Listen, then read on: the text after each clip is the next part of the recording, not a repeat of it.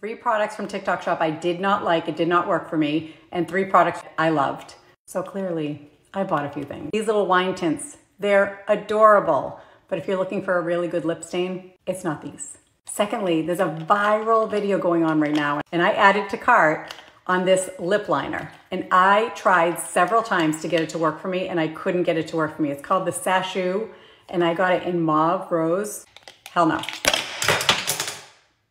I didn't mean to do that, actually. That's my sister's thing.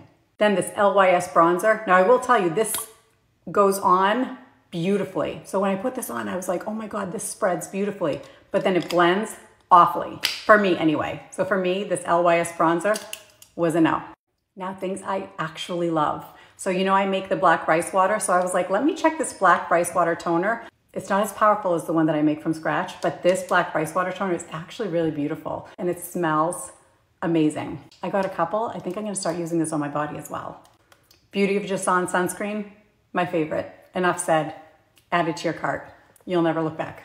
Then finally, I'm gonna count this as one, but any of these Aliver, Aliver, Aliver oils, I have them all. I love them all. They are such good quality. So don't ever hesitate if you wanna get one of these. I'll link the things I like. I will not link any of the things that I don't like in case you're interested. Happy shopping.